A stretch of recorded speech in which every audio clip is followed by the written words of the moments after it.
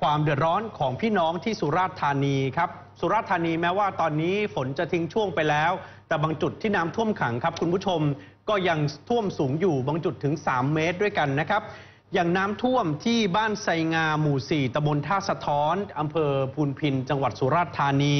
ลงพื้นที่คุณผู้ชมลองดูนะครับ เคยเป็นถนนนะฮะแล้วก็เป็นบ้านคนปรากฏว่าน้ำท่วมเต็มพื้นที่แบบนี้ แม้ว่าฝนจะหยุดตก แต่ว่าพื้นที่เป็นพื้นที่ลุ่มแม่น้ำตาปีน้ำก็ท่วมสูงขึ้น บางจุดสูงถึง 3 เมตรด้วยกันครับ ประชาชนก็ต้องอพยพเอาของไปอยู่บนถนนสายเอเชีย อยู่กันยาว บางคนก็อยู่ตามบ้านญาติ อย่างคุณสังเวียนถ้อยถัดครับถ้อยทัดนะครับ ขออภัยผู้ใหญ่บ้านที่ท่าสะท้อน บอกว่าน้ำตอนนี้ก็เพิ่มสูงขึ้นเรื่อยๆ แต่ยังไม่มีรายงานผู้เสียชีวิต ชาวบ้านก็รับมือเอาไว้ล่วงหน้า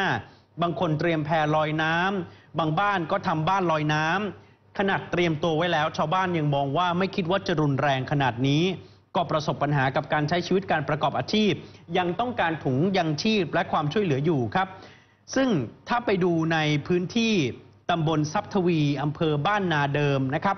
พื้นที่ของบ้านดอนมะลิ ชาวบ้าน 300 ครัวเรือน เจอกับน้ำที่สูงขึ้นเรื่อยๆ ตอนนี้ก็ต้องใช้เรือสัญจรไปมาแบบนี้นะครับ ต้องพายกันบนถนนที่น้ำท่วม ล่าสุดทางสำนักงานป้องกันและบรรเทาสาธารณภัยของสุราษฎร์ธานีเข้าพื้นที่ไปสำรวจ ไปแจกจ่ายถุงยังชีพให้กับผู้ประสบภัย ตอนนี้ก็ยังเร่งช่วยเหลืออยู่ ที่สุราษฎร์น้ำท่วมยังน่าห่วงครับกับหลายจุดนะฮะถึงแม้ว่าฝนจะไม่ตกลงมาเติม แต่ว่าก็ยังต้องเจอฮะน้ำจาก พื้นที่อื่นที่ไหลครับเข้ามาสมทบนะครับ ตอนนี้ทุกคนก็ส่งใจอืมไปช่วยที่ภาคใต้ อยากครับให้น้ำลดเร็วๆนะครับ